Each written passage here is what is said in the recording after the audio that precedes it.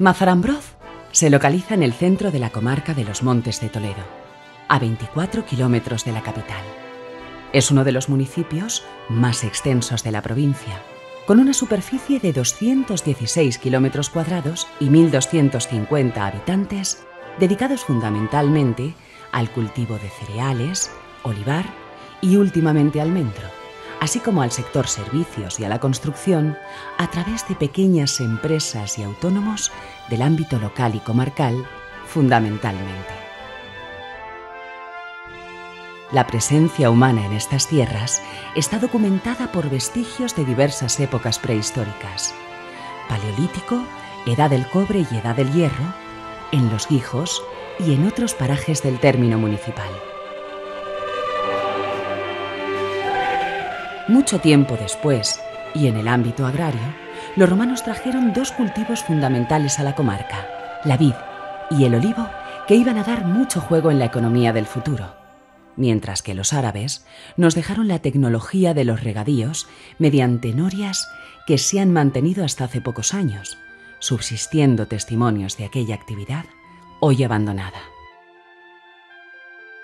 Referencias histórico-literarias señalan la presencia en las cercanías de nuestra localidad de una antigua ciudad romana llamada Menterosa o Monterrosas, en la provincia tarraconense, en el país de los carpetanos. Por otro lado, el término Mazarambroz se deriva del árabe Mancil Amrus, palabra compuesta por Mancil, parador, y Amrus, un nombre personal árabe. Mazarambroz participó activamente en la Hermandad de San Martín de la Montiña, nacida en el siglo XIV y a la que perteneció de pleno derecho hasta su disolución en el siglo XIX la singular hermandad se organizaba en torno a dos grandes objetivos fundamentales. En primer lugar, la gestión de la dehesa del Común, situada en la ladera norte de la Sierra del Castañar, en tierras actualmente comprendidas en el término municipal de Mazarambroz, que se dedicaba a pastos y al aprovechamiento del monte por los 15 pueblos de la comarca de las Islas integrados en la misma. Y en segundo término, la seguridad de estos campos poco poblados. Durante muchos años, los pobladores monteños han vivido de la agricultura, la ganadería, la confección de leña y de las actividades industriales ligadas a ellas para obtener el vino, el aceite de oliva, la harina, el queso, la miel, el carbón.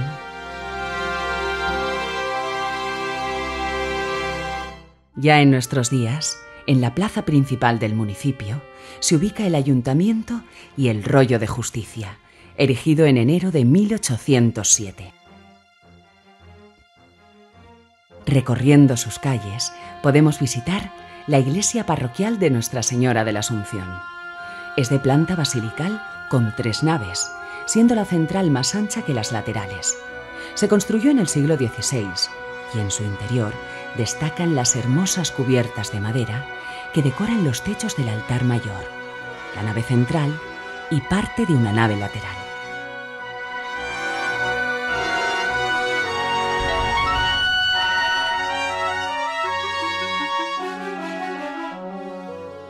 Igualmente, podemos contemplar la ermita de San Francisco de Asís, construida en 1750 sobre el solar de la casa de la Beata Isabel de Jesús, de planta rectangular, con una capilla mayor de planta cuadrada en la cabecera del templo.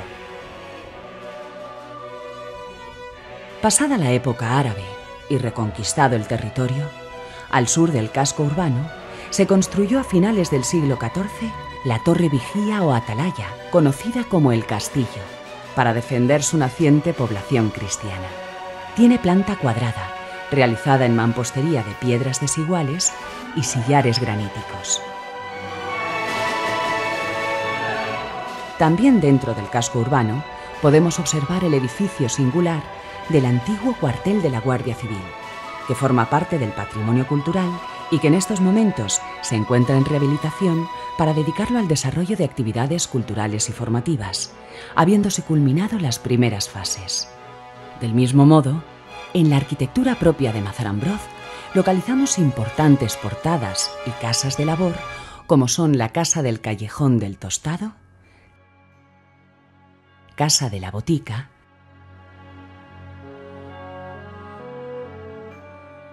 la Casa de la Calle Libertad y la Casa de la Calle Duque de la Victoria. Al este del municipio encontramos las ruinas de la presa de la Alcantarilla, en el arroyo Guajaraz. Su construcción romana data probablemente del siglo I después de Cristo y recientemente ha sido declarada bien de interés cultural. Constituye un monumento excepcional de incuestionable valor patrimonial, que formaba parte de un complejo sistema de abastecimiento de agua a la ciudad de Toletum, con un acueducto en torno a 50 kilómetros de longitud.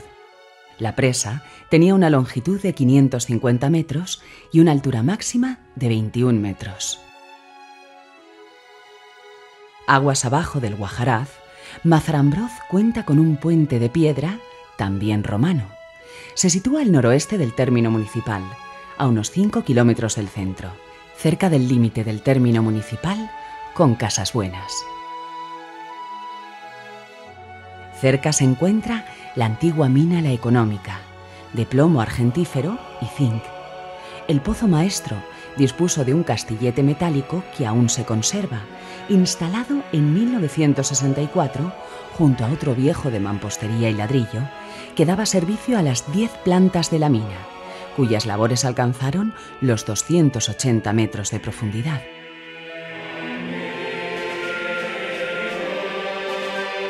El Palacio del Castañar que está situado en la finca que le da nombre, ha sido declarado también bien de interés cultural y es visitable. Se construye entre 1904 y 1909 por el arquitecto Saldaña. El edificio consta de tres alturas. La fábrica es de piedra, con sillar regular y presenta grandes huecos o ventanales. En las inmediaciones, formando parte del entorno del palacio, se sitúan otros elementos constructivos complementarios como la Casa de Rojas y la capilla.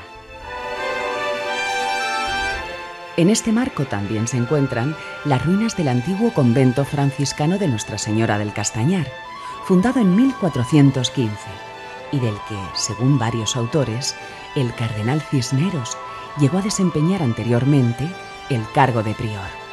El convento fue visitado por la reina Isabel de Valois tercera esposa del rey Felipe II de España, el 1 de enero de 1561.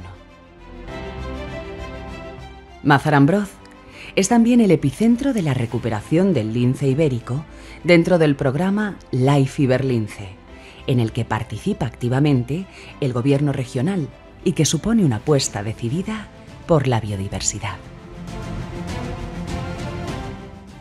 En una loma suave, rematada por crestones de cuarcita, sobre un monte de encinar y jaras, abundantemente poblado por ciervos, corzos y jabalíes, se sitúa una de las cumbres más altas de los montes de Toledo, el Pico del Amor con 1.380 metros.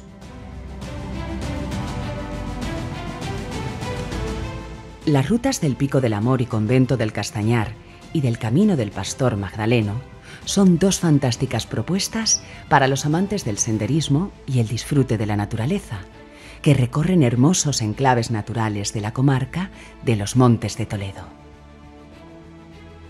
Además de estas dos rutas, Mazarambroz cuenta con una extensa red de caminos, alguno de ellos en proceso de recuperación de su ámbito público, para hacer senderismo y cicloturismo, combinando el disfrute del paisaje con el ejercicio físico.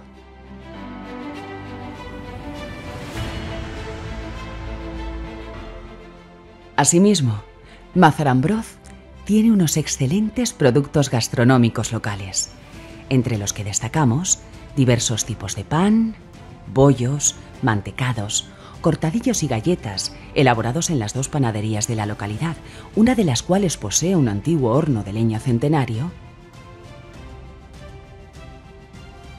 el aceite de oliva virgen extra, que elabora y comercializa la cooperativa Montes de Toledo, integrada en la denominación de origen Aceite Montes de Toledo,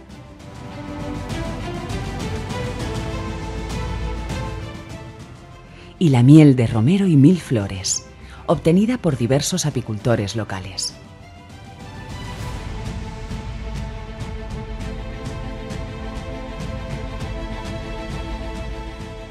Dispone también de varias casas rurales, bares y restaurantes para alojamiento y manutención de visitantes, así como diversos parques y jardines para disfrute de pequeños y mayores.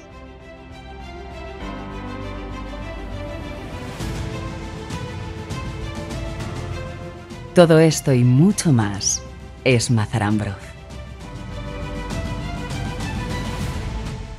Así que te esperamos.